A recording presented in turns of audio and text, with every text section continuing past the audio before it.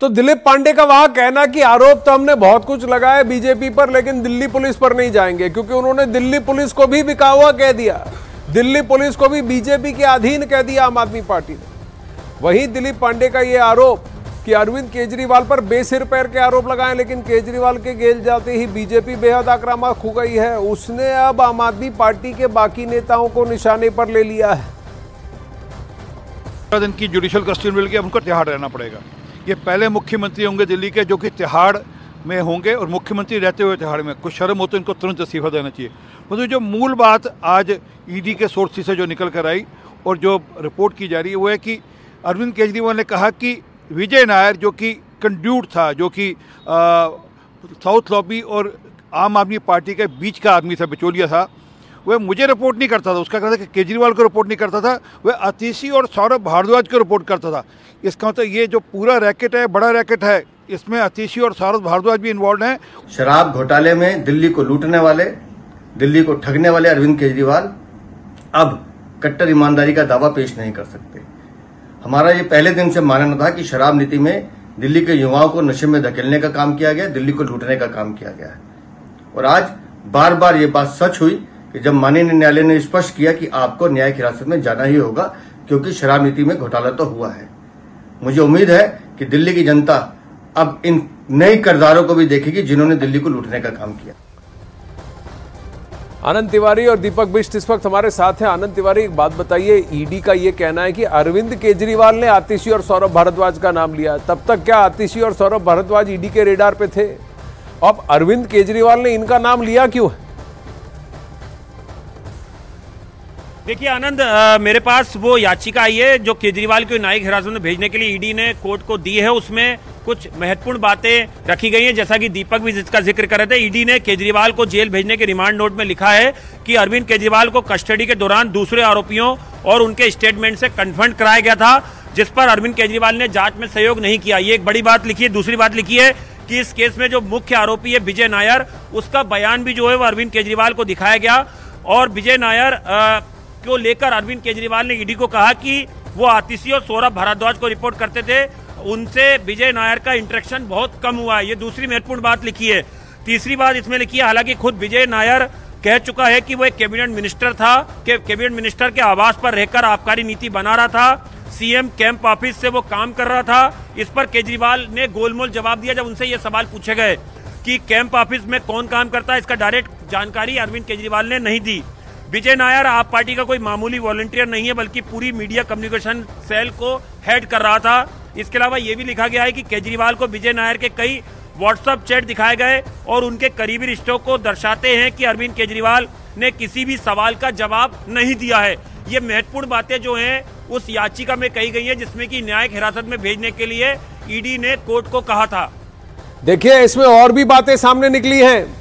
इसमें यह भी निकला है कि ईडी ने कहा है कि अरविंद केजरीवाल ने गलत साक्ष्य दिए। अरविंद केजरीवाल ने आम आदमी पार्टी के अन्य मेंबर्स के बारे में गलत साक्ष्य दिए। जब उन्होंने कहा कि ये देखिए, ये आपके बयान है और ये दूसरे लोगों के बयान है तो उन्होंने कहा कि ये काउंटर ये कंफ्यूज है। फिर उन्होंने एनडी गुप्ता उनको भी कंफ्यूज कह दिया एनडी गुप्ता को भी कंफ्यूज कह दिया। एनडी गुप्ता तो उनके पॉलिटिकल अफेयर्स कमेटी के मेंबर हैं, आम आदमी पार्टी के एक्टिव मेंबर हैं। और कहा कि उनको पार्टी फंक्शनिंग के बारे में सब पता है। लेकिन जब उनसे कहा कि एनडी गुप्ता जहाँ ये कह रहे हैं कि नेशनल कन्वीनर ही सारे डिसीज़न लेते हैं, सारे फैसले आम आदमी पार्टी के नेशनल कन्वीनर ही लेते हैं, तब अरविंद केजरीवाल ने कहा कि वो कंफ्यूज आदमी है। आम आदमी पार्टी का नेशनल ट्रेजरर कंफ्यूज आदमी है, ये भी उन्होंने वहाँ पर कहा है। और विजय नायर की बात अगर सामने निकल के आती है दीपक बिष्ट तो नाम लेने वाला साक्ष्य आतिशी और सौरभ भारद्वाज का कौन? उन्हीं का सरगना है। ईडी ने नाम नहीं लिया है। देखिए, बिल्कुल बड़ी बड़ी, आज बड़ा स्टेटमेंट यहाँ पर ईडी की तरफ़ से रखा गया है, क्योंकि कन्फंड कराने वाली जो बात की गई थी कन्फंड कराया गया था पिछले चार दिन में कई लोगों से और जो बयान होते हैं, क्योंकि विजय नायर का बयान सबसे पहले लिखा गया था, उसने जो जो पूछताछ में बताया था कन्फर्म कराने के बाद फिर बयान लिया गया और उसी बयान को अरविंद केजरीवाल के सामने रखकर ईडी ने जब उन्हें दिखाया था कि ये विजय नायर ने उनके लिए कहा है तो उसके बाद उन्होंने सीधे ये बोला कि विजय नायर एक मीडिया कोऑर्डिनेटर था, पूरी मीडिया देखता है और उसके अलावा वो मुझे रिपोर्ट नहीं करता था, बल्कि वो सीधा आतिशी और सौरभ भारद्वाज को रिपोर्ट करते थे, उनका इंट्रैक्शन उससे कम था, क्योंकि ज़ाहिर सी बात है, वो सीएम थे और ये सारी यहाँ पर चीज़ें उन्होंने बताई हैं। लेकिन जिस तरह से दो लोग जो दो नाम आज नए आए हैं वो दोनों दिल्ली सरकार के ऐसे महत्वपूर्ण पदों में बैठे हुए मंत्रियों के हैं जो अंदर कोर्ट के अंदर मौजूद थे और अचानक वो चौंक गए थे। और अब ये पूरा जो घटनाक्रम रहा कोर्ट के अंदर का उसके बाद और जब ये सारी बयानबाजी हुई और कोर्ट के अंदर जो रिमांड कॉपी लिखी गई थी उस पूरे पूरी जाँच की बात की गई उसके अलावा पूरा ज़िक्र किया गया है कि क्या क्या इस पूरे रिमांड के दौरान हुआ था। तो अब ये देख लीजिए आनंद की दो नए नाम जिनका नाम यहाँ पर आज ज़िक्र है तो उनसे अब पूछताछ के लिए ईडी आगे जा सकती है समन उनको हो सकता है क्योंकि दिल्ली शराब आबकारी नीति जो थी उसमें जो घोटाला हुआ था उस पूरे मामले में ये नए नाम भी यहाँ पर यहाँ पर पूछताछ नाम लिए अरविंद केजरीवाल ने।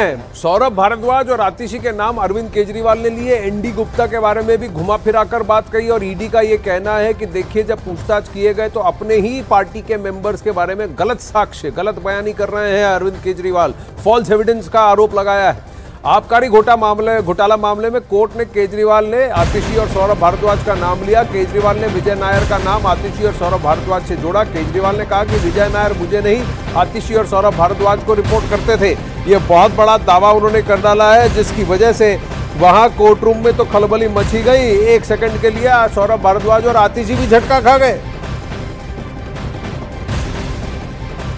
और उन्होंने कहा कि मेरा इंटरेक्शन मेरी बातचीत विजय नायर से कम ही होती थी।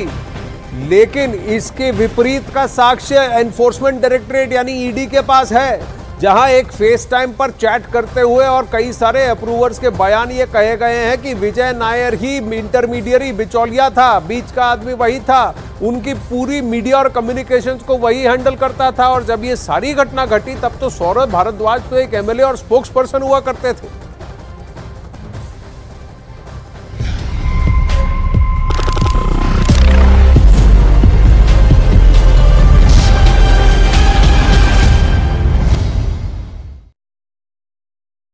इसे 15 अप्रैल तक उन्हें जुडिशियल कस्टडी में भेजा है क्योंकि जुडिशियल कस्टडी 14 दिन के लिए कोर्ट देती है 14 हाँ। दिन के बाद दोबारा से आरोपी को पेश करके उसे बढ़वाना पड़ता है। तो आज एक तारीख है 15 तारीख तक 15 अप्रैल तक के लिए उन्हें जुडिशियल कस्टडी में भेजा गया है। हाँ। 15 अप्रैल को उनको दोबारा से जब उनका जुडिशियल कस्टडी खत्म हो जाएगा फिर यहाँ दोबारा लाना पड़ेगा। लेकिन इस बीच उन्हें जो तिहाड़ जेल में ही रहना पड़ेगा। अगले चौदह दिन के लिए उन्हें जुडिशियल कस्टडी में रहना पड़ेगा। इस बीच उनके वकीलों की तरफ़ से जमानत के लिए पूरी करिएगा, क्योंकि जुडिशियल कस्टडी चौदह दिनों के लिए होती है और आज एक तारीख और ऐसे में पंद्रह अप्रैल तक के लिए जुडिशियल कस्टडी में अरविंद केजरीवाल को भेजा गया है। इस वक्त की ब्रेकिंग न्यूज़ आपको बताएँ, पंद्रह अप्रैल तक।